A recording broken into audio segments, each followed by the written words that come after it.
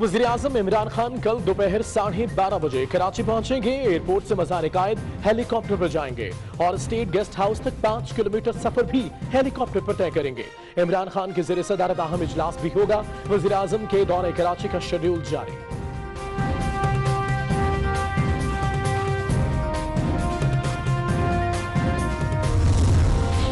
Kalabagh dam को नहीं छोड़ा, कौम इतफाक अमीर भाषा और मोहम्मद डैम के बाद कालाबाग डैम भी बनाएँगे। कालाबाग डैम ही पाकिस्तान की बका का जामिन है। चीफ जस्टिस पाकिस्तान साकिब निसार का लाहौर में तकरीब से खिताब।